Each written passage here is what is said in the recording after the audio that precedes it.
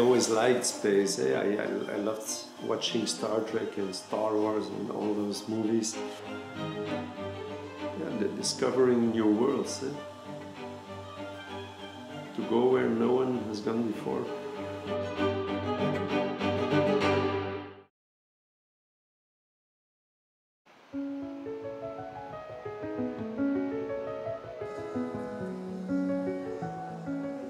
My father had his dental office at the second floor. We lived at the first floor, and our bedrooms were at the third floor. So, in order to go to sleep, I had to run in pajama, and then sometimes I crossed the patients. But we, uh, I literally grew up in a dental practice. So, uh, for me, there never has been any doubt.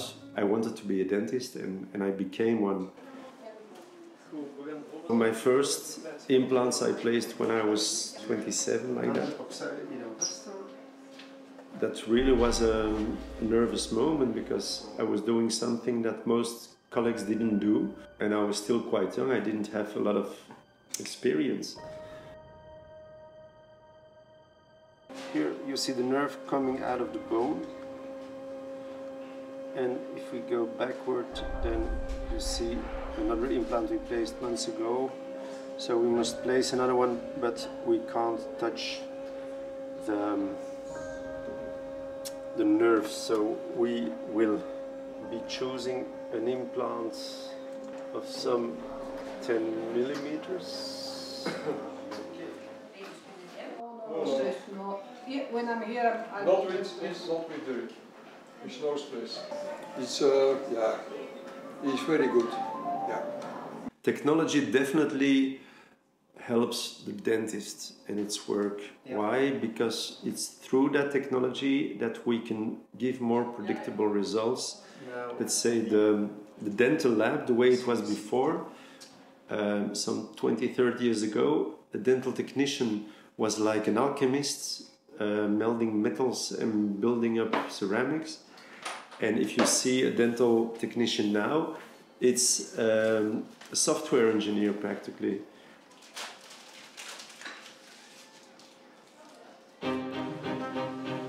I think HoloMedicine offers a lot of new possibilities, and I think as a professional we must think out of the box. And of course, we can work in the way we worked with our traditional 2D screens, but we must again use our intellect, use combine it with the technology that is available, and then just be creative to see where we can arrive using that new technology.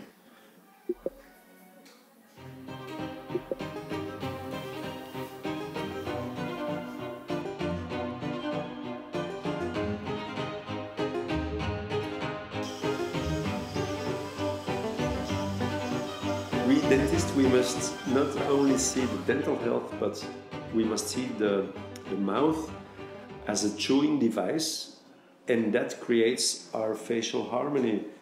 A lot of problems like headaches, jaw problems, neck problems, they can be related to an, a position of the jaw. We must search for, for those problems and not wait until the, the patient comes to us telling it because they won't tell it. We have to ask it. Maar je kunt dus ook bellen met die HoloLens.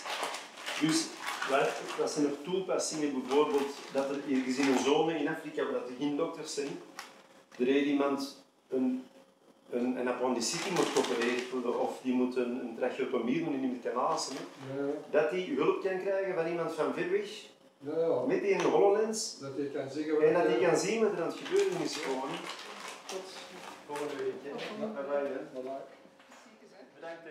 So the, uh, the surgery went uh, went really uh, right. This was a quite delicate surgery. We had about seven eight millimeters of bone to place the implant, and we had a security uh, distance from two millimeter, not touching the mandibular nerve that could cause um, numbness of the lower lip for the rest of her life. So the surgery is really delicate. A year ago now, I started uh, a project with the European Space Agency. I created, it's called a topical team, and it's like a research opportunity, uh, first step contact with ESA to help them reaching a particular goal and later on that gives opportunities to do more things, more collaboration with them. You can, as a dentist, you can work very, very good without the HoloLens. But I think we should progress and HoloLens will be a part of that, that advance. So I want to be part of it but I don't see it as something that I'm just using now because it's new, because it has a marketing value. No, I think it, it has a future. I think some people must start it and must promote it and I want to do my bit in, in dentistry.